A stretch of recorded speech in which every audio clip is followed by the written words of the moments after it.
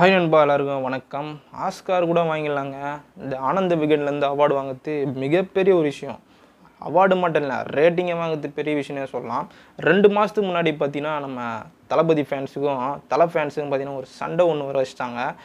இப்போயும் அதை பற்றி சொல்கிறேன் அப்படின்னு கேட்டிங்கன்னா அப்போ தான் ஆனந்த விகடனை பற்றி உங்களுக்கு தெரியும். என்னென்னா இப்போ ஓடிடியில் நிறைய படம்லாம் ரிலீஸ் பண்ணியிருந்தாங்கல்ல.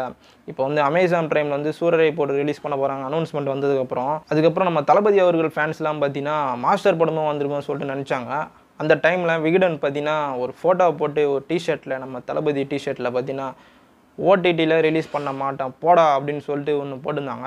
அது வந்து மாதம் இருந்தாலும் ஓடிடி பிளாட்ஃபார்ம் வந்து தப்பாக சொல்லியிருக்காங்க தான் பார்த்தீங்கன்னா அதில் வந்து போட்டிருக்காங்க. அதுக்கப்புறம் அதுக்கு ஆப்போசிட்டாக பார்த்தீங்கன்னா நம்ம தலை அஜித் அவர்களது பார்த்தீங்கன்னா வெளியே வரமாட்டான் போடா அப்படின்னு வந்து போட்டிருக்காங்க.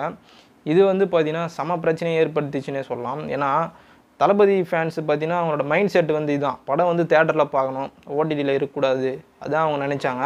அது ஏற்ற மாதிரி பார்த்தீங்கன்னா அவங்க வந்து சூப்பராக பண்ணியிருக்காங்க தளபதி அண்ணா ஃபேன்ஸ் வந்து புரிஞ்சினாங்க இதுதான் அப்படின்னு சொல்லிட்டு. இந்த படம் தேட்டர் தான் பார்க்கணும் அப்படின்னு சொல்லிட்டு புரிஞ்சின்னு அதுமாரி பண்ணாங்க.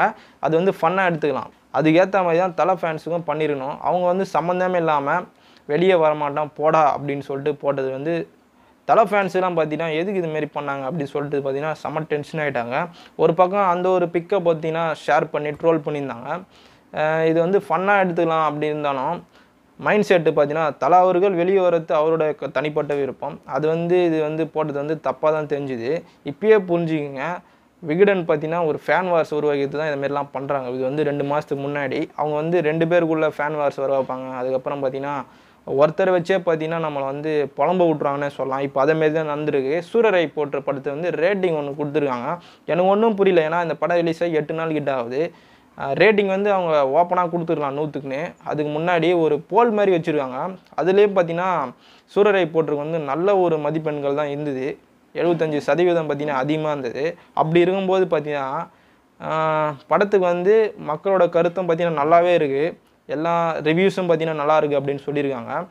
இப்போ மக்களோட கருத்தும் வச்சு தானே அவங்க வந்து மதிப்பெண்கள் கொடுக்கணும். அதை விட்டுட்டு பார்த்தீங்கன்னா அவங்களே தனிப்பட்ட விதமாக கொடுத்துருக்காங்க. இது வந்து தப்பாக தான் தெரியுது. அவங்க வந்து அந்த ஃபோட்டோ போட்டு பண்ணுறதுலாம் பார்த்தீங்கன்னா மேகசீனில் பண்ணுறது அவங்கக்கிட்ட ரூல்ஸ்லாம் இருக்குது ஒரு படத்தோட ரேட்டிங் பார்த்தீங்கன்னா நிறைய ஐஎம்டிபிலேருந்து ரேட்டிங்கே பார்த்தீங்கன்னா பயங்கரமாக கொடுத்துருக்காங்க. ஃபஸ்ட் நாள். அப்படி இருக்கும்போது இவங்க நூற்றுக்கு பார்த்தீங்கன்னா வெறும் நாற்பத்தாறு வந்து கொடுத்துருக்காங்க. இது வந்து நம்ம சூரியனா ஃபேன்ஸ் பார்த்தீங்கன்னா நேற்று வந்து செம்ம டென்ஷனாக தான் இருந்தாங்க. கீழே வந்து கழுவி கழுவி ஊற்றுனாங்க ஆனந்த விகடன் பார்த்தீங்கன்னா அந்த போல் மாதிரி வச்சு அதில் ஒரு மாதிரியாக இருக்குது அதுக்கப்புறம் ரேட்டிங் வந்து கொடுத்துருக்காங்க. அது வந்து நாற்பத்தாறுக்கு நூறு கொடுத்துருக்காங்க. இப்போ மூக்குத்தி அம்மன் படம் வந்தது. அந்த படத்துக்கு வந்து நாற்பத்தொன்று கொடுத்துருக்காங்க நூற்றுக்கு அந்த படம் பார்த்திங்கன்னா ஒரு காமெடி ஒரு லாஜிக் வந்து நம்ம பார்க்கவே தேவையில்ல அந்த படத்துக்கு.